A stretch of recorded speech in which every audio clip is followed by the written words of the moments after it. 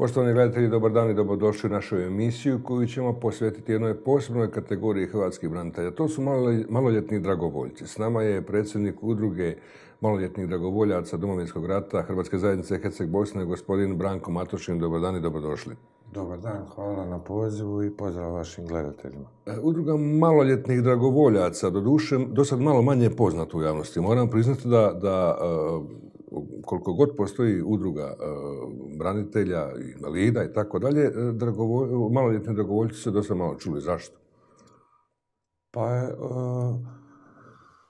tu postoje dvije varijante. Mi smo znači registrirani puni osam godina i aktivno smo uključeni u, cijelu priču vezanu za braniteljsku populaciju. Tako da e, zajednički sa svim ostalim braniteljskim udrugama radimo na svim pitanjima vezana za, za branitelje, a unutar naše udruge radimo isto tako neke stvari koje, koje, koje su od pomoći našim članovima i širim korisnicima, njihovim obiteljima. E, od te pomoći, tu ćemo malo zastati, zapravo nije bilo, e, nije isto bilo kad su već ljudi bili formirani, ljudi osobe, e, znači zreli, punoljetni koji su stali na branik, uzeli puške ili maloljetni dragovoljci koji su ipak na neki način bili djeca. Koja je razlika? Da li vi vučete možda sa sobom još neke dodatne, da tako kažem, posljedice svega toga? Pa da, naravno, sada većina tih osoba je u 40. godinama, većina tih ljudi e, imaju djecu. Mhm. E, većinom sada e, posljedice, ajmo reći ratne posljedice se tek sada polako odražavaju u svim segmentima života. Prvenstveno zdravstvenim, naravno kao i ostale kategorije branitelja, ali evo, mi nastojimo sanirati te probleme i, i napraviti naš rad i pomoć našim članovima što učinkovitijim i, i, i kroz udrugu artikulirati vaše interese i prava ovoga. osam godina, je li to moglo i ranije, da tako kažem? što je bio razlog da se ipak na neki način, da tako kažem, izdvojite iz drugih pa da postanete samostalna udruga? Pa gledajte, ovaj, e, jedno vrijeme poslije rata, znači kompletno društvo se je trebalo reintegrirati u, u postojeće okvire, tako da i mi kao udruga e, i kao populacija čekali smo znači, na stabilizaciju institucija, donošenje zakona, provedbe, ali e, direktno pa malo čak i duže od osam godina smo zapazili određena skupina ljudi da nismo ravnopravno e, tretirani kao ostale kategorije branitelja i onda smo odlučili 12.7.2008. godine osnovati udrugu, proširiti je na cijelo područje Bosne i Hercegovine i e, u samim početcima, znači krenuli smo kao prvo za traganjem svoga statusa i rješavanjem problema naših članova, kako su nam se naravno članovi priključivali. E sad kad ste se uspjeli, da tako kažem, nametnuti e, kao, kao, zaista kao faktor u, u braniteljskoj populaciji i artikulirati e, svoje prava i, i potrebe, e, do sad ste zapravo radili tri ministra, ako se ne varam, resorna, vezano za proces uvrštavanja u zakon. U kojoj je fazi, kako ide i jeste li zadovoljni? Pa evo, kako ste rekli, treći ministar s kojim pokušavamo naći zajednički jezik za rješavanje našeg statusa. Sastankom koji je održan u utorak u ovom tjednu zajednički sa spomenutim ministrom, udrugom maloljetnih armije Bosne i Hercegovine, napravili smo jedan sastanak, ja bih rekao konkretan sastanak gdje od strane ministarstva a mogu slobodno reći i posredstvom vlade, federacije, smo dobili, kako mi volimo nazvati, zeleno svjetlo, da se otvore ti pregovori. Nešto nam je ponuđeno, nešto smo tražili. Zaključak sa tog sastanka je da, da, da smo našli jednu formulu koja bi zadovoljila našu populaciju, a, a, a samim time i, naš, i poboljšala status naših članova. Možemo samo par riječi o toj formuli, zapravo što ste uspjeli uh, isposlovati, tako kažem, s ministarstvom pa vezano za, za, taj zakon? Pa evo, naš prvenstveni cilj je bio da, da nas zakon i prije, a sada i novi zakon koji će biti donešen, prepozna kao kategoriju branitelja. Znači, to je bio prvenstveni cilj da dobijemo svoj status kao braniteljska populacija ili braniteljska kategorija, gdje će u članku 2 novoga zakona stajati kategorija branitelja koja će imati svoje ime maloljetni dragovoljci, maloljetni branitelji. To ostaje još da dogovorimo tehničke detalje. Druge stvari su vezane za niže razine, niže dokumente, to su pravilnici, dopuska prava i tako dalje. Mi imamo tu e, isto tako svoje prijedloge koje smo iznijeli. E, prijedlozi su e, od, odgovorni prošli na podržavanje i ja mislim u konačnici da ćemo mi iz tih svih stvari izvući jednu pozitivnu priču i da će se to pitanje konačno riješiti. Mhm. Dopustite jedno pitanje ovako. Vas, pretpostavljam, prirodno nema mnogo, jel? Zna se jednostavno tko je bio punoljetan, e, odnosno maloljetan 1991. i druge godine. Nisu se mogli tako lako pošvercati, jel, neki...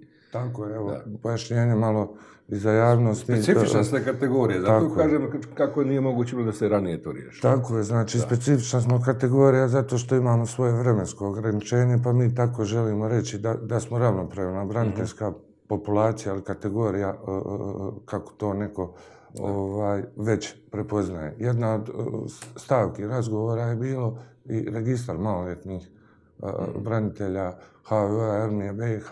Ja ovim putem mogu reći da naša udruga danas broji oko 700 članova udruge, s obzirom da imamo preko 293 poginula maloljetna branitelja u, u Bosni i Hercegovini.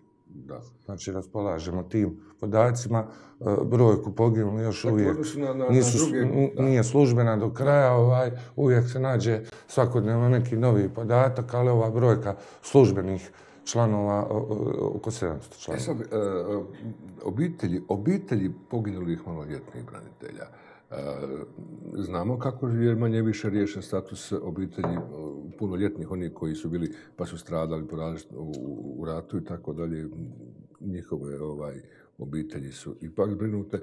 Kakav je e, status obitelji poginulih maloljetnih branitelja koji evo, možda kroz vas također trebaju kroz vaša prava ostvarivati ovaj, Evo, u, nekom iskustvu tijekom rada u udruzi, ovaj, dobro ste e, rekli da većina poginulih je riješena e, na taj način koji ste spomenuli. Naša primarna je zadaća da održimo sjećanja na mhm. te e, ljude koji su e, poginuli kao pripadnici HVO-a zajednički, znači sa svim drugim udrugama, koje, udrugama i institucijama koje skrbe po, mhm. poglavito poginulim maloljetnim mhm.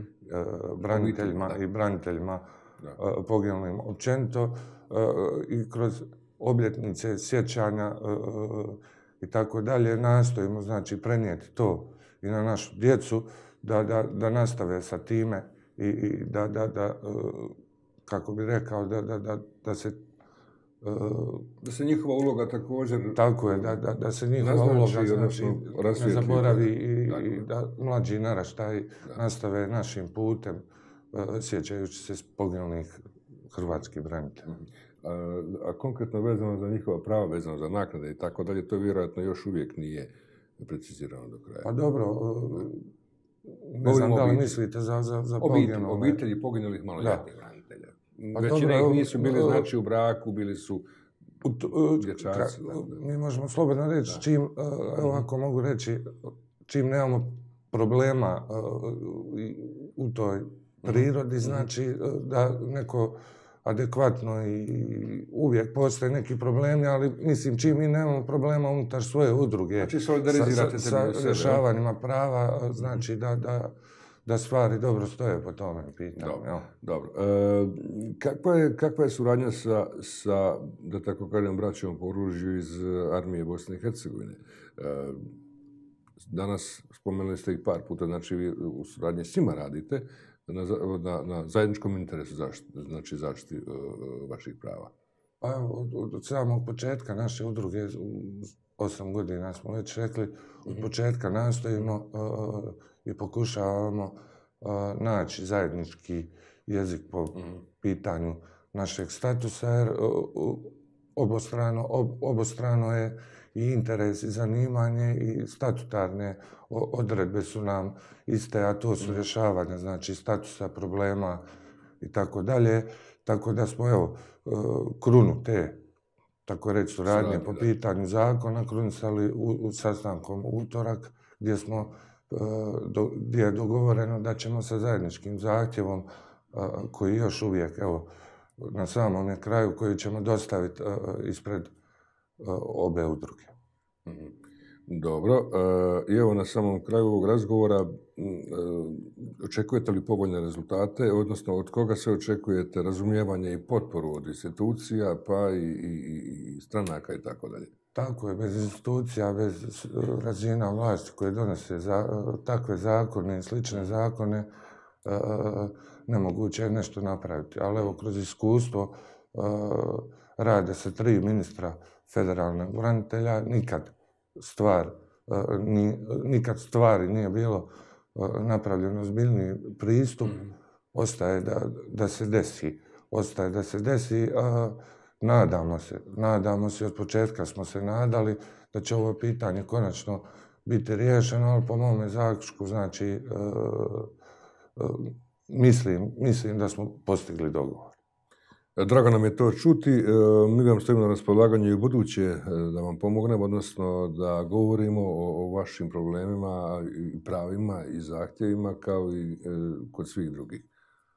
Pa evo, ja bih se ovim putem i vama zahvalio što uvijek nađete vrijeme i mjesto u svom programu da razgovarate na temu problema, ne samo maloljetnih branitelja, nego branitelja općenito. Mi smo vam tu na raspolaganju i evo kažem, još jednom zahvaljujem na vašem pozivu i učešću emisiji. Hvala lijepo, želim vam uspjeh i u buduće. Poštovani gledatelji, bio je to gospodin Branko Matušin, predsjednik e, Udruge maloljetnih dragovolja Domovinskog rata Hrvatske zajednice Herceg Bosna. Govorili smo o pravima, problemima, ali i obavezama e, države koja se treba artikulirati kroz odgovarajući zakon kad su u pitanju maloljetni dragovoljci i branitelji. Hvala na pozornosti i doviđenja.